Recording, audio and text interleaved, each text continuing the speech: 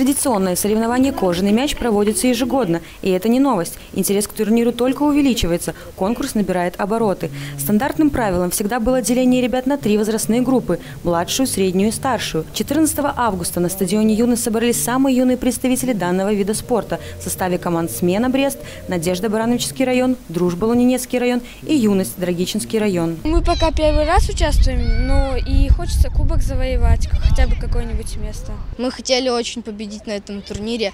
Если ну, мы победим, нам тренера разрешат ну, поездить по разным другим городам. Мы хотим очень поехать на республику. Мы очень рады, что попали на эти соревнования «Кожаный мяч». Мы участвуем первый раз, долго готовились, тренировались. Э, есть у нас в команде очень хорошие игроки. Надеемся побороться за медали ну, главное, что это для нас участие, что мы сюда попали. Кожаный мяч – настоящий футбольный праздник для его участников. Ежегодно его ждут и с удовольствием принимают в нем участие. Помимо красивой игры и ярких впечатлений, юные футболисты также уносят с собой спортивный опыт и ценные награды. Болельщики же не остаются равнодушными к незабываемому зрелищу. В целях активной физкультурно-оздоровительной и спортивной работы с детьми и подростками для них постоянно организовываются подобные мероприятия для укрепления здоровья и популяризации спорта. Сейчас значит, областной, областной этап турнира «Кожаный мяч» э, проходит в двух группах.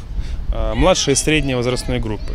Э, одна группа у нас соревнования проводится в Малорите, а Брестский, Барановичский, Дорогичинский, Лунецкий районы. У нас здесь, в Бресте, практика показывает, что некоторые ребята, которые себя демонстрируют здесь на турнирах, достаточно высокий уровень игры в футбол, потом в дальнейшем уже профессионально занимаются футболом, этим видом спорта и реализуют себя. То есть мы способствуем реализации молодежи, именно реализации их, чтобы оттянуть их от улицы, чтобы они они были заняты э, полезным делом. Соревнования по футболу «Кожаный мяч» – это испытание силы воли, характера и выносливости. Как и в любых состязаниях, в данном есть и победители, и побежденные. Поражение не может радовать спортсменов, но зато это один из поводов подкопить опыт и с новыми силами принимать участие в турнире уже в следующем году.